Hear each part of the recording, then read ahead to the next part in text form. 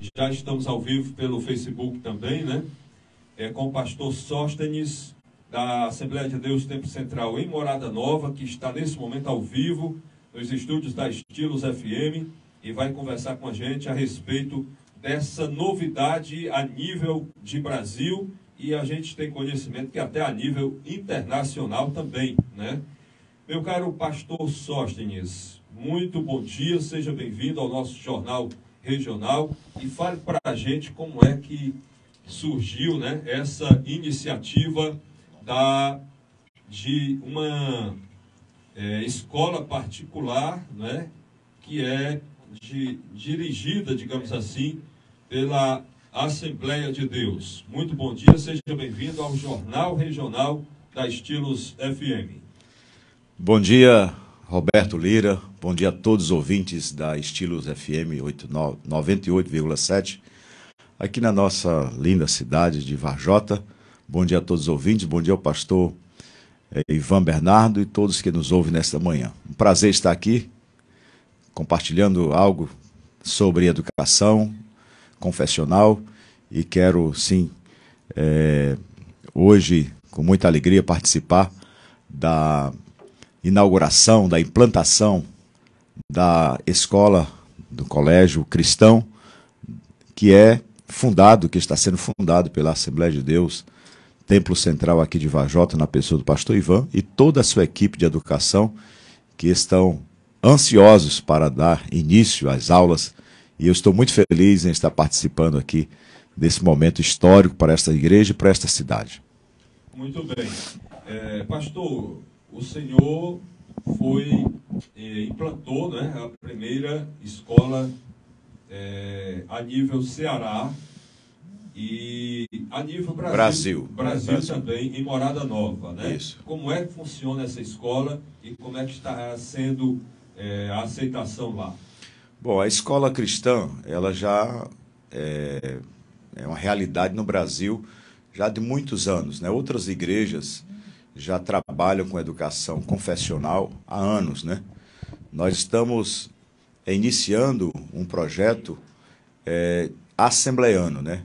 um projeto assembleano, porque a igreja, por exemplo, a igreja batista, presbiteriana, adventista, todas essas igrejas, elas têm escolas e faculdades também já há muitos anos. Mas a Assembleia de Deus, na pessoa do seu presidente nacional, pastor Wellington Costa Júnior, iniciou um projeto chamado RAI, que é a Rede Assembleana de Ensino. Quando o projeto RAI iniciou, nós já estávamos funcionando em Morada Nova e usando o material que é o sistema Mackenzie de ensino. O sistema Mackenzie foi desenvolvido pela Universidade Mackenzie, que é a das melhores universidades não públicas do Brasil, não é? E é uma universidade que já tem cento, mais de 100 anos, cento, não falo em memória, 145 anos de fundação, desde antes de ser universidade até agora. Então, é uma, uma instituição respeitadíssima no Brasil, e como nós já estávamos usando esse sistema, a RAI ao começar, precisava de um modelo, né? E como estávamos já funcionando, então a escola, o Colégio Educado de Morada Nova se tornou a primeira do Brasil e está dando consultoria já a várias cidades no Brasil para a implantação de escola e hoje aqui em Varjota, que estará iniciando as aulas já hoje mesmo, é o primeiro dia de aula na implantação dessa escola. Muito bem. Hoje é o primeiro dia de aula aqui em Varjota e, ao mesmo tempo, a inauguração, né? Exato. E a inauguração está prevista para que horas mesmo? Às 15 horas, né? Pronto. Às 15 horas, pastor Ivan, é? O, a, a cerimônia, né? É, que- Às 15 horas. Pronto. Logo mais a partir das três da tarde, Uhum. na, é, no- no- na parte de baixo, digamos assim, né? Ao, ao lado. No endereço, no endereço da lateral. escola mesmo, né? Que é a rua. Ali é a rua Francisca Rodrigues de Farias, né? Muito bem. que fica esquina com a, a rua Rui Barbosa, no centro de Varjota, onde se localiza a Assembleia de Deus, né? Mas o local da escola é exclusivo, só escola, né? E tudo em seu devido lugar, organizado como deve ser, né? Sim. Pastor, é o seguinte, é, alguém pode achar, ah, mas é só para é, os evangélicos. Não é, nada a ver, né? Não. É uma escola comum.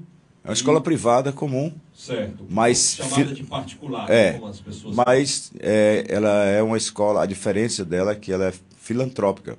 Uhum. Ou seja, ela é uma escola que não tem um dono, né? E sem fins lucrativos. Exatamente. É uma Apenas escola. para se manter. Né? Todo, todo o seu rendimento, ou seja, se, se porventura é, iniciar ou se lá na frente ela tiver alguma lucratividade, é, tudo é investido nela. Não sai nenhum, nenhum centavo dessa escola para outro fim. Ela se mantém e ela vai aplicando os seus rendimentos para beneficiar as famílias, os alunos que ali estão. Muito bem. Pastor, é, as pessoas, até para entender melhor, o que eu tenho observado é o seguinte: o que a gente ouve da parte de evangélicos, e não só de evangélicos, mas eu tenho até em alguns momentos que a gente conversa com pessoas católicas praticantes, elas se sentem incomodadas com algumas partes do ensino comum público que se tem hoje no Brasil, Sim. porque ele vai em um sentido onde parece ignorar completamente a existência de Deus e os princípios é, cristãos. O objetivo dessa escola seria evitar isso, mais ou menos isso. O que, é que o senhor poderia falar sobre? É, o sistema Mackenzie, que é um sistema confessional, ele trabalha dentro de uma cosmovisão cristã. O que é isso? É que todo conhecimento que o homem possa adquirir parte de Deus não exclui Deus, desde a criação, da queda e a redenção do homem. E, e nesse sentido, o, a criança ela cresce compreendendo a vida no seu relacionamento com o outro, com o meio e com Deus. Então, é uma escola que tem uma, uma, uma identidade cristã e o objetivo de fazer com que a criança cresça sem se tornar cético, né? Porque muitos, quando muitas, muitos, muitas crianças chegam também, quando chegam na adolescência, principalmente, eles vão excluindo Deus da vida, como, como que se o conhecimento fosse uma, uma maneira de perder a fé, de acreditar em Deus. Então a escola cristã, ela preserva os princípios, os valores da nossa fé cristã, independente de ser evangélico ou católico. Nós somos uma nação cristã e esses princípios, esses valores da família, por exemplo, é, da família tradicional e também princípios como justiça, honestidade, é, fidelidade, amor e tantos outros princípios que regem a nossa vida são valorizados nessa escola. É? Então, a, a grande diferença de uma escola cristã é que ela trabalha por princípios e não apenas com conteúdo científico.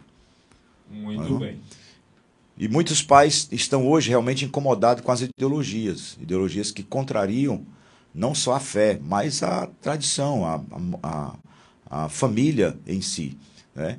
E bons costumes. bons costumes. E muitos, muitos pais, sem, sem serem, ou seja, não evangélicos, já estão procurando as escolas porque estão também com medo, porque é, as escolas, muitas das escolas de ensino secular, estão Brasil, Brasil estão doutrinando as crianças dentro de uma ideologia que é contrária à própria família. Uhum. E a escola surge nesse momento para dar esse apoio à educação dos pais, né? Muito bem. Gostaríamos também de conversar com o pastor Ivan. Pastor, é, como é que está a expectativa para a inauguração hoje?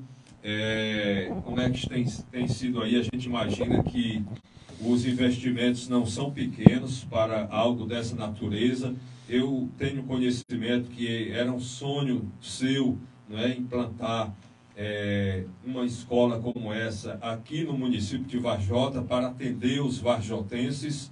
É, gostaria que o senhor falasse aí para a gente sobre é, essa questão, né, como está sendo os investimentos e como está sendo é, esses primeiros passos, já que a inauguração vai ser hoje. Muito bom dia, seja bem-vindo ao nosso Jornal Regional, Pastor Ivan. Muito bem, irmão Roberto, a paz do Senhor, quero agradecer pelo espaço que está sendo aqui nos oferecido através da rádio, para trazer assim, uma palavra de esclarecimento à nossa, até mesmo à nossa população. É, a vida pastoral, ela, ela, a gente, o desejo da gente é abençoar o povo, e abençoar em todas as formas. Então era um sonho nosso abrir uma escola, sim, porque realmente esse sonho é não porque essa escola venha nos trazer alguma renda, que o ser humano hoje pensa logo em dinheiro, né?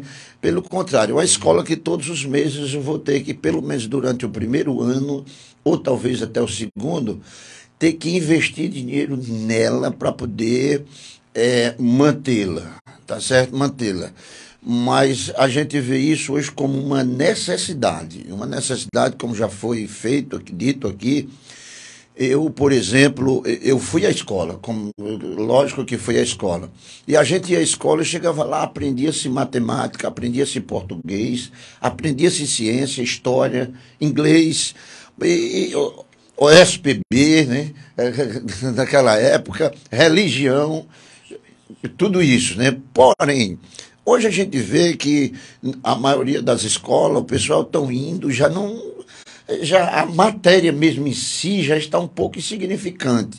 Geralmente a, o que vem dos livros lá de Brasília. De, isso, exatamente, a nível nacional. Geralmente não é uma culpa do município. Do, não, não, não, não, não, não, não. A gente já me deparei com professores de dizer assim, pastor, eu, eu tenho ensinado coisas que eu não, não consigo digerir, mas eu sou obrigado a fazer né? Sou obrigado a fazer. Então, por causa disso, a gente resolveu, ouvindo queixa dos nossos irmãos na igreja, a gente tomou essa iniciativa de pagarmos o preço para termos uma escola com essa qualidade, com a qualidade que nós iremos oferecer ao povo ajotense. Deixando bem, porque a cidade pequena, a gente termina sabendo de, de, de tudo, né? Que o objetivo da escola jamais será doutrinar as crianças, por exemplo, a ser um crente, certo? Não. É lógico que nós jamais iremos deixar de, de levar a elas o conhecimento de quem é Deus, né? Quem é Deus, porque Ele é tudo na nossa vida. E eu acho que o princípio de uma família, acho não, o princípio de uma família, ela não pode existir se não tiver, em primeiro lugar, Deus, né? Em primeiro lugar, Deus. Então nós abrimos ali uma outra coisa, a gente até enfrentou algumas dificuldades. E às vezes algumas pessoas, talvez, por questão de felicidade, né? Porque eu estou há nove anos, bem dizer, aqui em Vajota, e o povo de Vajota é um povo abençoado. Ah, ali, ali é uma garagem. Não, quando nós fomos fazer aquilo ali, a gente já fez com o objetivo de funcionar uma escola. Só que, observando eu assim, as escolas, a forma de funcionamento, principalmente no período de chuva, é, os pais param na frente das escolas e tem que descer com seus filhos na chuva, né?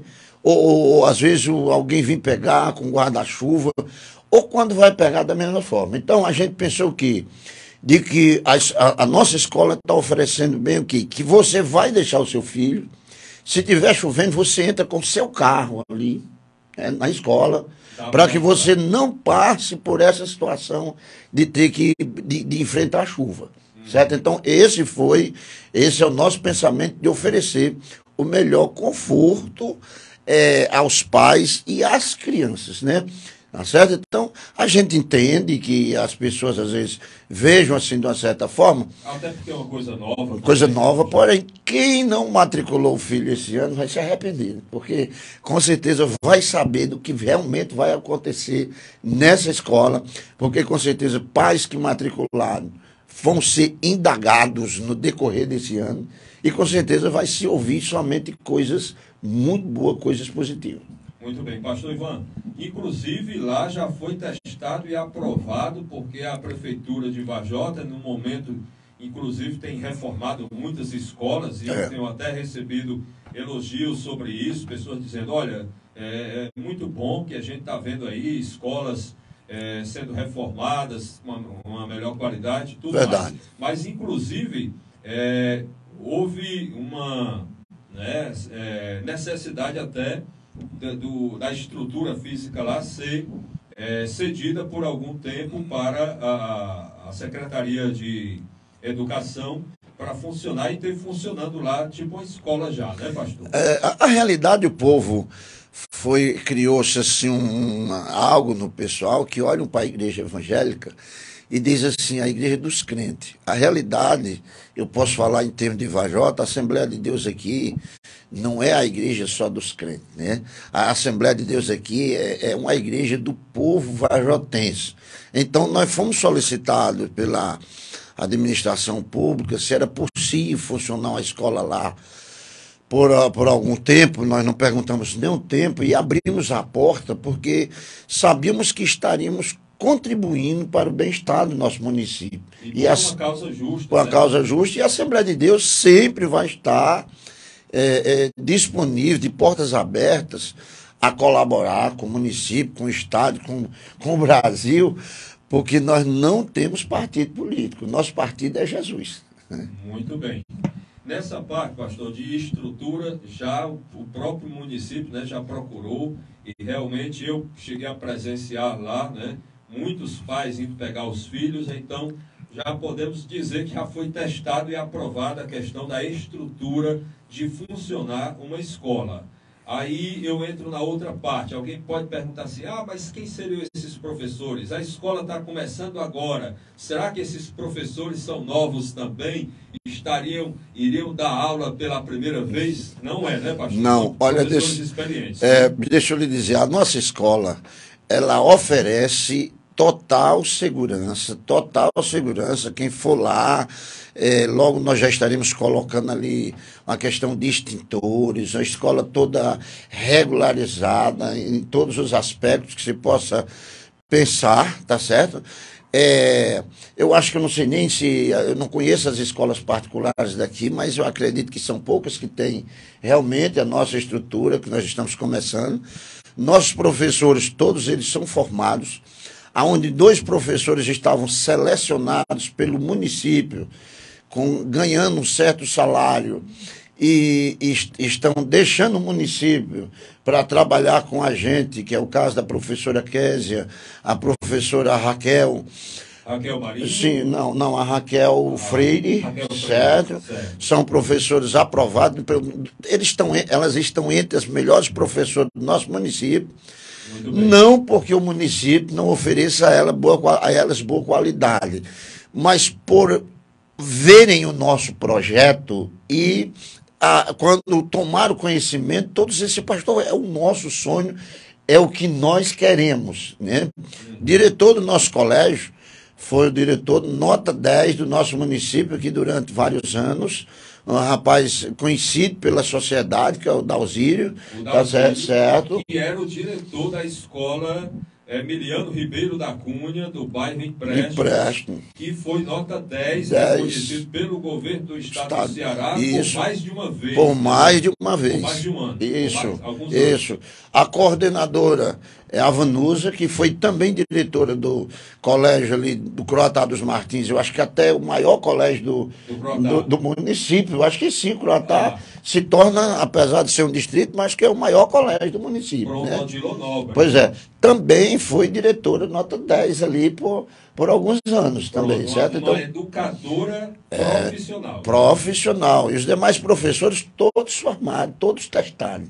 Garanto que ninguém se arrependerá de entregar os filhos na mão deles. Muito bem. E o preço, pastor? Ah, porque, como é, foi dito né, pelo próprio pastor Sóstenes, é, não há o fim lucrativo, mas, ao mesmo tempo, existem os gastos, os investimentos, que ficaria muito pesado para o senhor, né, como pastor sozinho, é, não, não, teria como, né? Olha, Roberto, assim, no certo ponto, acho que a gente foi muito atrevido para montar aquela escola, certo? A gente montou totalmente por conta da igreja, é a igreja que está pagando, não sou eu, é a igreja, certo? Conscientizamos a igreja, a igreja abraçou o projeto, que a igreja de Vajota é uma igreja maravilhosa, certo?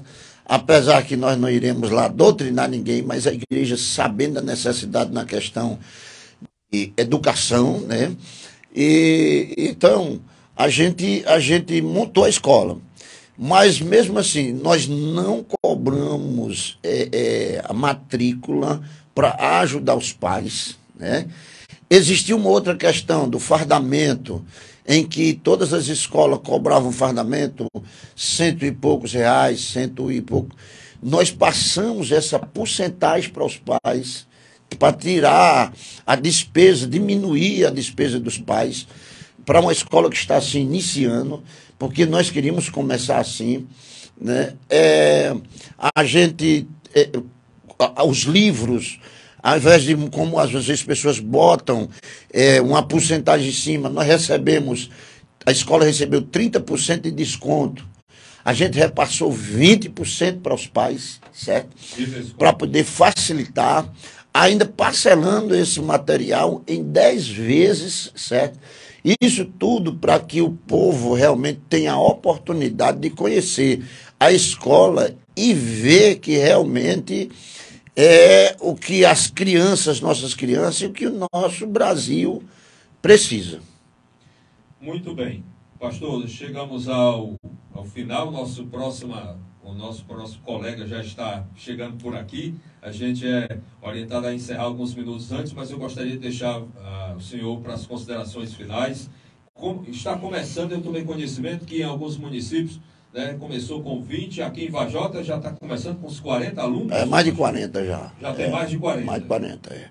Eu, eu quero somente aqui agradecer aqui a pessoa do pastor Sóstenes, do irmão Raimundo, que o acompanha, porque o pastor Sóstenes é, é pastor de uma das maiores igrejas aqui do Ceará.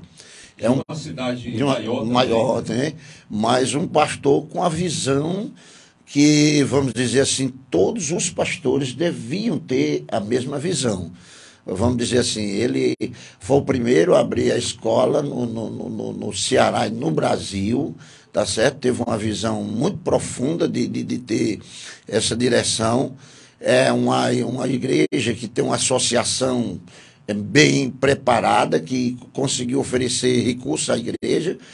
Ele, a igreja hoje é proprietária da rádio Cairós, uma das rádios hoje, eu acho que bem, acho que das quase maiores já do, do, do Ceará, entendeu? E é isso que precisa acontecer. Precisa haver investimento, precisa. O dinheiro do povo tem que ser o povo ver realmente e sentir e ele funcionar. Né? Ele funcionar. Então, quero agradecer a ele, quero agradecer aqui é, a, a, você que está nos oferecendo aqui essa oportunidade através da rádio, a direção da rádio, a todos, né? Então, e convidar às três horas, nós estamos ali na nossa escolinha dando a primeira alavancada, em nome de Jesus. Ok, deixando bem claro que é uma coisa totalmente é, Alguém pode perguntar, ah, será que vai ter culto durante as aulas? Nada não, disso. Não, né? não, não. É escola não, mesmo. Olha, eu, eu, é o seguinte, uma coisa que nós temos que primar se chama pelo respeito. Exato. Né? Pelo respeito. respeito à religião dos outros. É, é, é, o seguinte, você quer ser o que você quer ser, eu lhe respeito, eu lhe ensino, eu posso até chegar para você e falar de Jesus, tal, tal. Mas se você não, não, não quer, eu posso ser seu amigo da mesma forma, sem nenhuma indiferença, certo? Muito Entendeu? bem. Pois muito obrigado, pastor Ivan, pastor Sóstenes, as suas considerações finais. Muito obrigado pela participação de vocês. Muito bem. É, agradecer pela oportunidade. Também parabenizar o pastor Ivan pela iniciativa, por abraçar esta ideia. E logo, logo vocês verão os resultados dessa escola. E lembrando que quem escolhe uma escola confessional deve saber que nela tem uma doutrina a ser observada. Então, quem escolhe a escola, colocar o filho na escola confessional, sabe que segue princípios segundo a fé que é, faz parte daquela, daquela instituição. Um abraço a todos, Deus vos abençoe e até às 15 horas. Pronto, se Deus quiser, a gente vai estar lá fazendo a cobertura.